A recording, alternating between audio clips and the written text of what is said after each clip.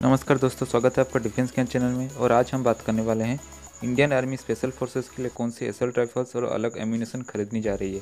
तो आइए जानते हैं, दरअसल इंडियन स्पेशल फोर्सेस के लिए कुछ वेपन्स अपग्रेड की जा रही है, जिसमें बेल्जियम यूएस ओरिजिन की एफेंस कार एच राइफल है, जिसको खरीदने का फैसला लिया जा चुका है, जो कि 7.62 point six two into fifty one M round का है और इसकी लागत करीब 200 से 300 करोड़ बताई जा रही है। इस राइफल का इस्तेमाल करके स्पेशल फोर्सेस घने जंगल में भी हैवी फायर पावर के साथ आगे बढ़ सकती हैं।